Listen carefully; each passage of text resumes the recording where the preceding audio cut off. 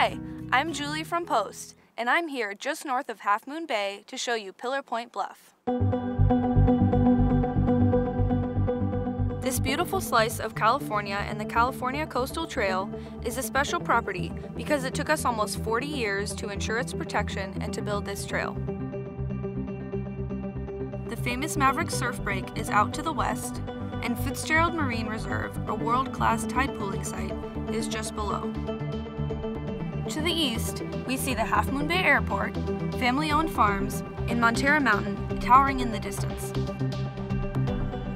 As we continue south on the Jean Lauer Memorial Trail, we see the town of Princeton by the sea and the Half Moon Bay Harbor.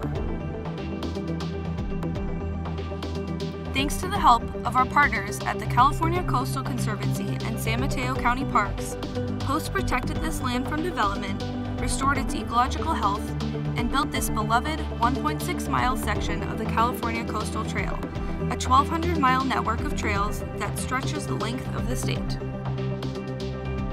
Thanks for joining me on this tour. I hope you get a chance to visit these trails for yourself sometime soon. I'll see you next time. For more information on how Post protected Pillar Point Bluff, visit our website at openspacetrust.org/blog.